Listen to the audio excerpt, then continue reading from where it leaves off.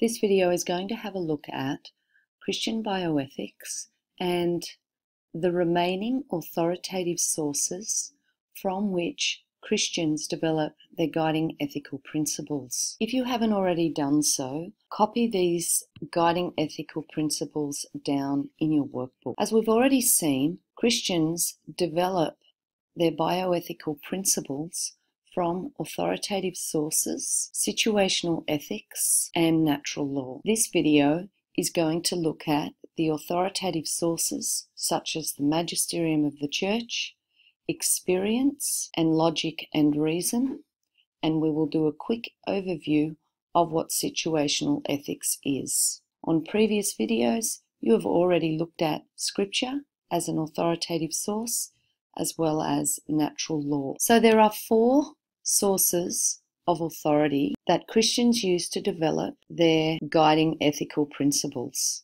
And they are the Bible, which we have already looked at, in particular, the teachings on agape love. We have already looked at natural law, which is used um, mainly by the Catholic Church. The tradition of the Church refers to the magisterium or teaching authority of the Church. And by church, we mean those different Christian denominations.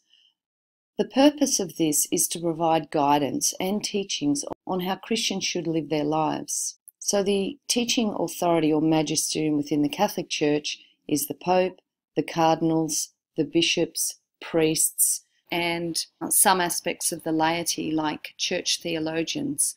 Similarly, with other denominations, we might be talking about the patriarch if you're talking about the Orthodox Church. We might be talking about certain ministers within different Protestant churches. These church leaders sometimes they meet within their denomination, like the Pope might meet with the cardinals, or they might meet as part of ecumenism, and that is where different church leaders get together and they discuss issues that have ethical considerations. And if we have a look, some different denominations down here, and some of the ways in which they might develop documents that are disseminated to their Christian communities. So within the Catholic tradition, uh, one of the things, as we've already said, that the Pope does is he writes encyclicals. A key encyclical that relates to our current topic of bioethics is Donum Vitae. I'd like you to find out what Donum Vitae is about and jot down some key points about that encyclical. Another source of authority in developing ethical guidelines is experience or inspirations of the Holy Spirit. And this is closely connected to prayer. And so when we pray, we are more attuned to the Holy Spirit working within us. And that has an impact in dealing with the decisions and choices that Christians make in light of issues that arise in their everyday lives.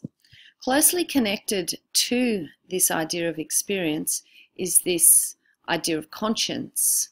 It's the key point about conscience is that we need to have an informed conscience. Conscience, the word itself, is made up of two Latin words, con meaning with and scientia, which is knowledge. The Christian view of conscience is that when you are informed of the positives and negatives of a situation, when you know about what is taught about that issue within your faith denomination, and if that teaching sits comfortably in the presence of God, with those three aspects, you can make a decision with a conscience that is informed. There are plenty of examples of Bible references to conscience.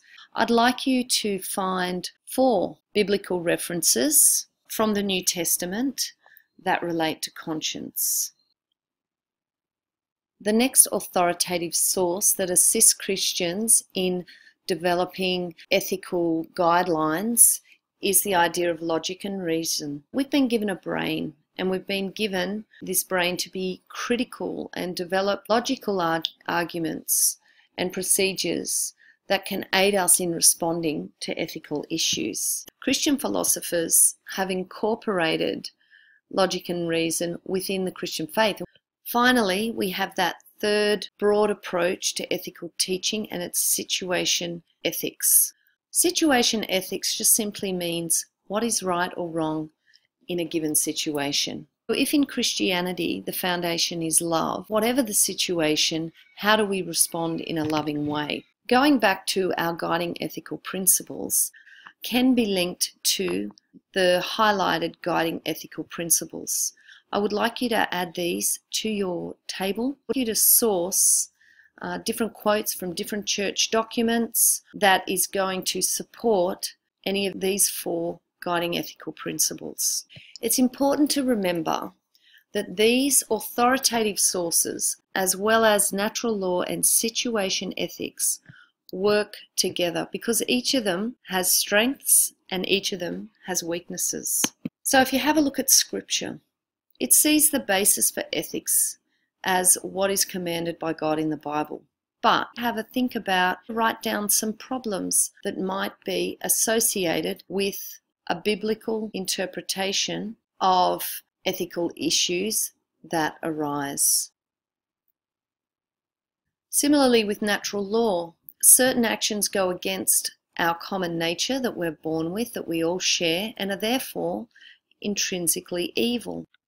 Think of some weaknesses that might be inherent with this approach of natural law to bioethical teachings.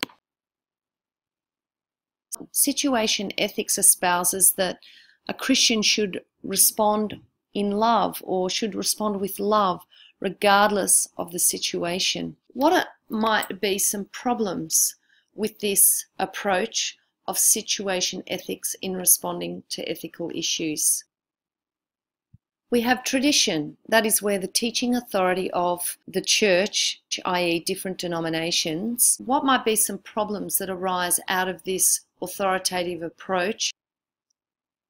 The main issue for a Christian who attempts to follow Christian morality is how these four sources of authority, as well as natural law and situation ethics, how they can be balanced so that they work together to enable a decision to be made in response to ethical issues. Now you need to write down that heading, Varying Approaches to Christian Bioethical Teachings, and then copy down each of the different Christian denominations and the sources they use to develop their different responses to bioethical issues.